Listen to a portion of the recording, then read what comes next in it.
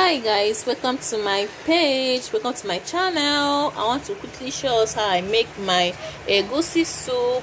This soup can be used to eat um rice or even swallow. So please sit back and enjoy this video. Okay so here i have my palm oil. Very important.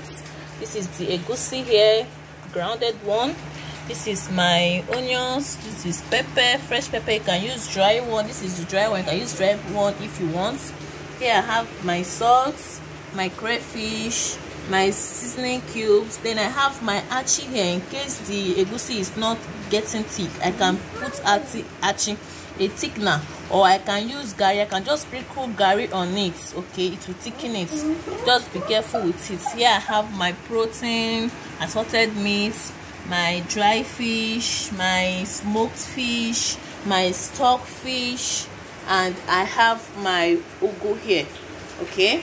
So i'm still going to put uziza leaf if i want okay? So without wasting time let's go straight to the video. So my meat my fish everything is boiled to perfection okay? I've already boiled that off camera and it's ready next thing is to just put my pot on the fire allow it to get dried. While that is getting dried then the egusi i'm going to just put warm water mix that up get it ready for me to fry it okay? Just mix that up already mix it very well make sure it's properly properly mixed okay? Now that's my protein sitting pretty. Then i'm going to go ahead and add fish um red oil allow it to be hot okay just make sure it's hot not too hot. Okay that's all my ingredients.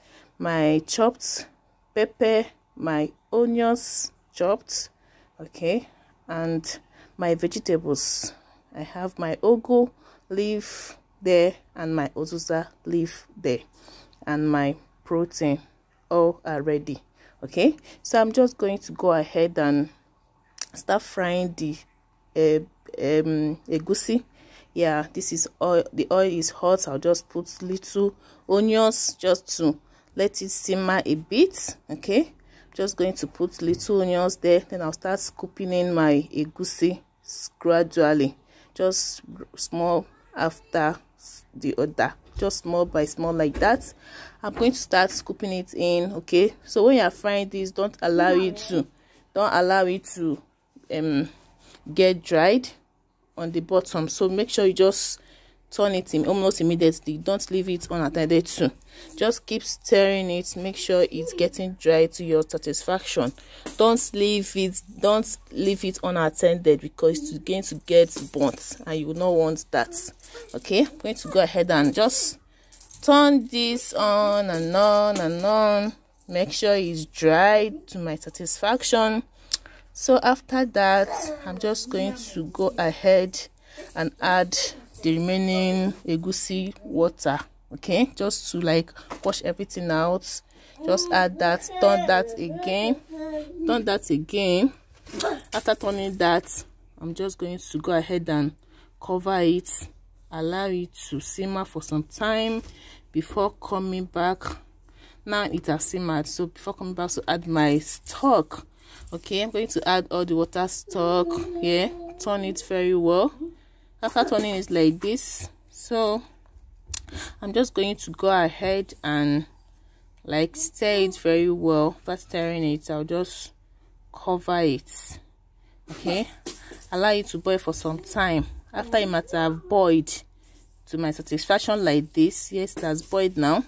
I'm just going to go ahead and stir it make sure that it's not getting burnt on the mm. bottom okay? So after stirring it properly like this i'll go in with my my proteins yeah. Just add all my protein add everything my stockfish my dry fish the meat and all that my pomo just going to go ahead and stir that okay? Stir it properly. Ensure that the bottom is not getting burnt because if it gets burnt it will spoil the taste okay? I'm going to go ahead and add my all my onions and my pepper add that together stir that up make sure it incorporates very well. After doing that i'll go in with my salt my seasoning cubes and any other thing i want to just add. If you have crayfish you can just add it at this time and stir it. So after stirring that and it's looking delicious look at that. Look at that. Isn't that looking lovely already? So i'm just going to go ahead and cover it. Allow it to boil for some time maybe five ten minutes. When it's boiled and it's ready i'll just open it up. Yeah it's boiled now. Just stir it very well again. You can see it's all looking ready. Okay? Look at that. Just stir it ensure that the bottom is not getting burnt in any way. Okay? Just make sure you stir it very well. Look at that. Look at that. Oh my god. Is it not looking delicious? So i'm just going to stir that up and then finally with my vegetables. Okay? First add the uziza leaf first add that yeah. I'm going to go ahead with add the uziza leaf. Allow you to just i just allow you to simmer for like two seconds um five seconds maximum just for the aroma of the uziza to come out. Yeah i like it that way. So after stirring that for some time i'll just let it just rest just simmer for that like five seconds. So after it's ready like that i'll just go ahead with my ugu leaf finally like finally finally. Just go ahead with my ugu leaf just you know stir that up stir it very well ensure that the bottom is not getting burnt. By now my heat is on low like very low. I'm about to turn it off okay i'll just go ahead in there add more vegetables if i want. Just add a little veg more vegetable just a little just a little just a little you know. Just simmer that turn that up turn that around stir it you know move it around. Do whatever you want to do with it. And um ah at this time it's off. Yeah it's off. Look at that. Look at that. Isn't it looking yummy already?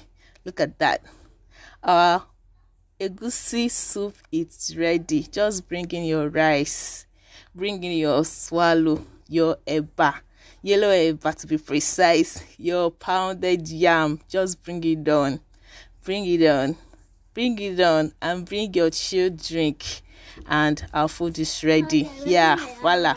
so thank you guys for watching. Do subscribe and share my video. Bye bye